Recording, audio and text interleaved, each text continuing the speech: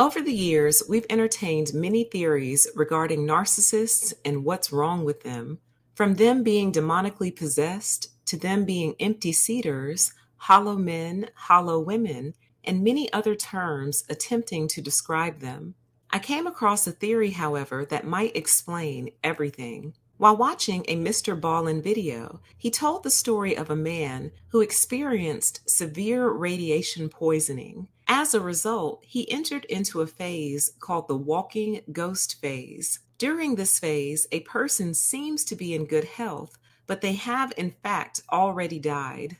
The radiation has destroyed the cells responsible for producing new cells. So, whatever cells are present at the time of poisoning are the cells that remain until certain death. They are never replaced. The craziest part is this phase can last for days. So naturally, this makes me wonder about many different things, including if it's possible narcissists have this syndrome to some degree.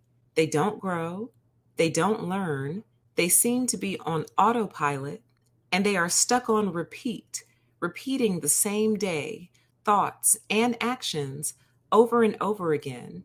It's almost like they died but are still somehow alive. Something snapped their chromosomes to the point where no new brain cells are being created. The only difference here is walking ghost syndrome only lasts for a few days or weeks, then they eventually die. In that time frame, they seem perfectly healthy and normal. So if this is possible, what if it's possible that there are people walking around who have, in fact, already died, but their fallout period is longer, lasting days, weeks, or even years? When you consider how narcissists and other evil people behave, it becomes easy to see the walking ghost theory in action. They behave like human beings who are operating on the brain stem only able to satisfy basic survival instincts, but having no real needs outside of these instincts. Their memory is crude and rote, holding on to only a few simple things and remembering only how to run a few simple programs.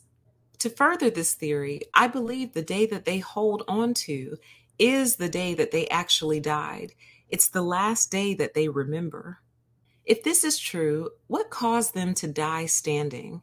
A system wide cell death, really a shutting down of the cell factories.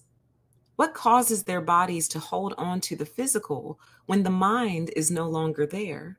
What, if anything, can prolong physical death to the extent that this theory would suggest?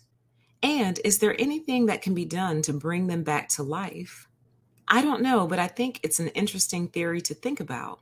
I've included links below for you to research this theory yourself, and I'd love to hear your thoughts in the comment section.